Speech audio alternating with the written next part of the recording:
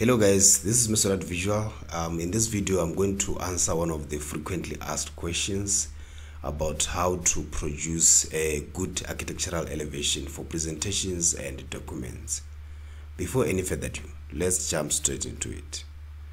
Before we start let me ask you to like share and comment if you have any questions to ask. Feel free to do so.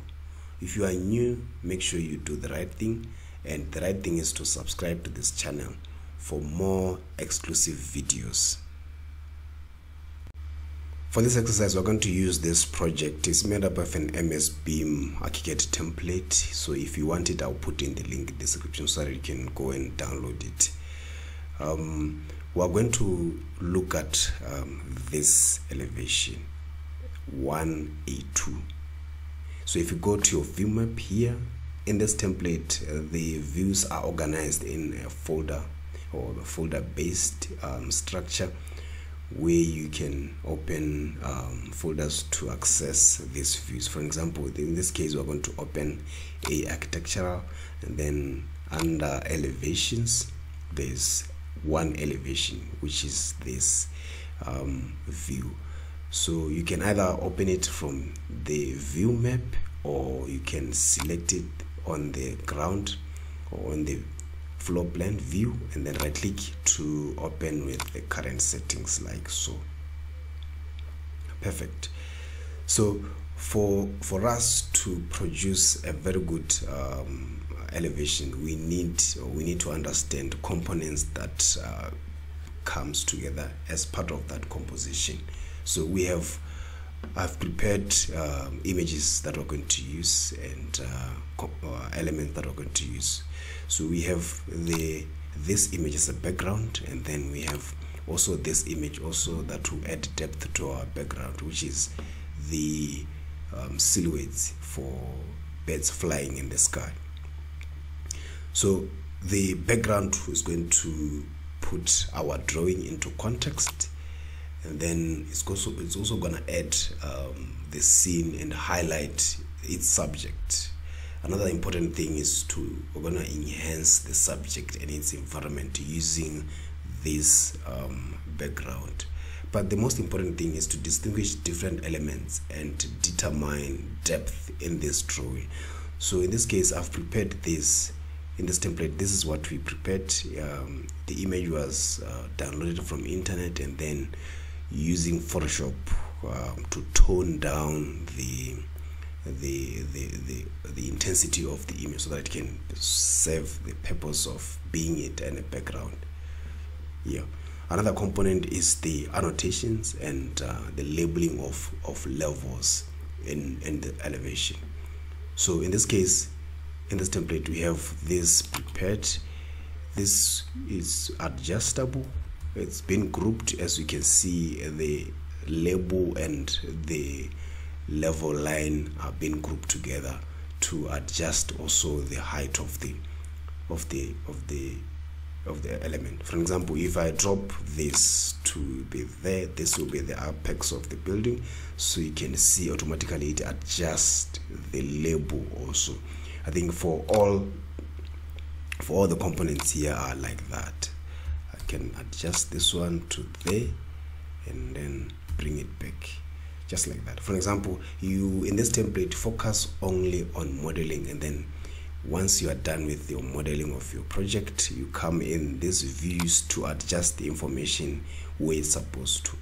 So that's the good part of using a template. So i will take this um, background and move it to the zero level like so and then let's drag also the flying birds.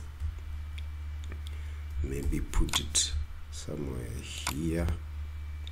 Perfect. And then i'm going to use the fill to form a base of my my drawing like so. Just to overlay some of the components that one we don't want to show. Just like that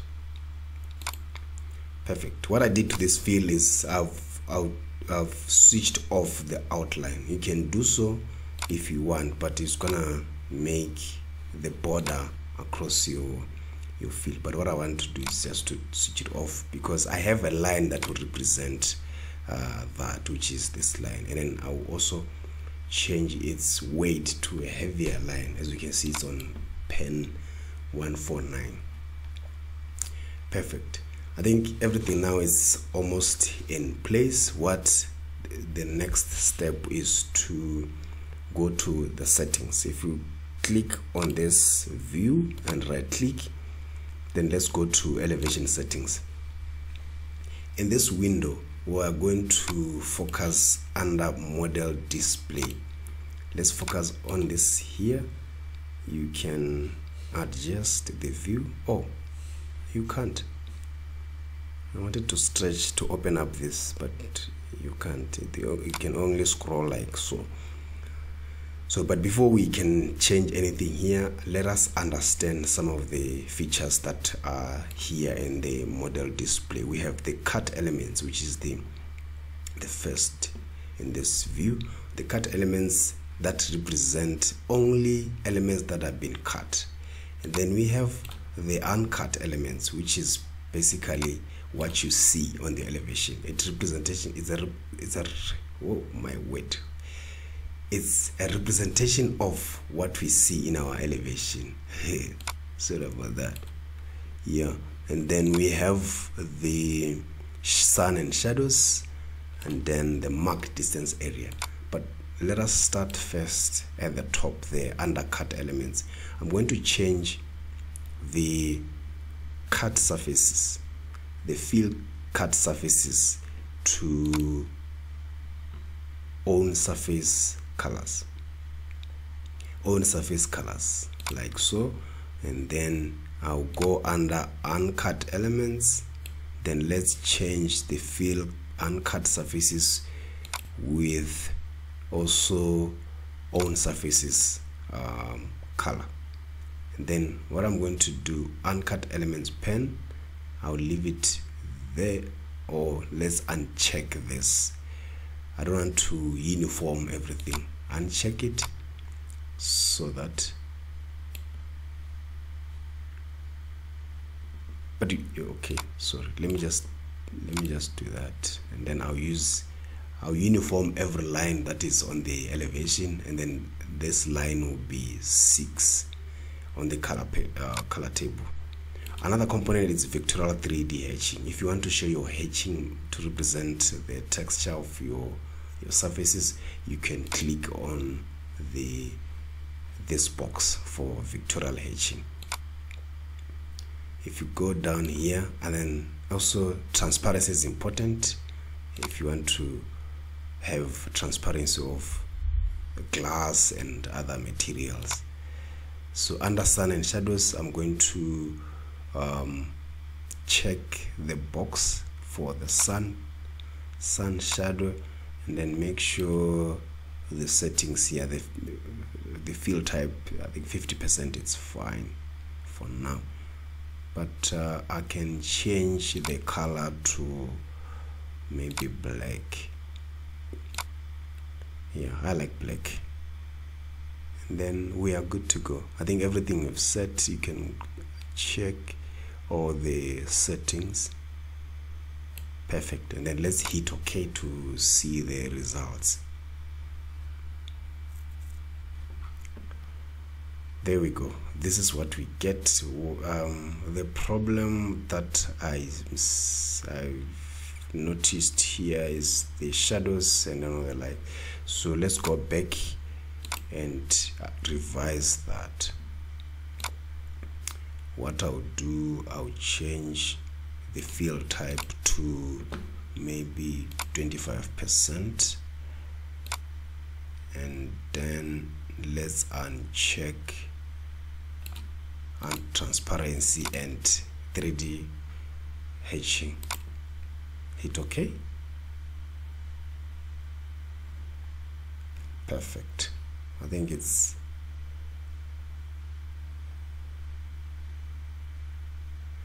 let's go back again and um, check something. If you go down the uh, maybe change um, let's check the shadows. Just check examples of of each settings. So this is what you get if you uncheck your shadows but I want depth in my drawing. So go back. Here I'll, transparency and shadows. And then the other thing is uh, maybe we can advance the the fill pen to something like that something lighter. Another thing that we can check is maybe let's use shaded for the uncut. Let's check. Perfect. This is very nice. This is what i wanted. So yeah basically those are the settings guys. Um you can copy them or if you can copy them or this template is already set for this um, settings. So you can just go and download the template and reuse it. Once you are done with modeling it automatically set your your elevations or your views to this standard. Another thing that you can track maybe is to change the the overrides graphic overrides. If you change to presentation solid it will also give you this effect. Perfect.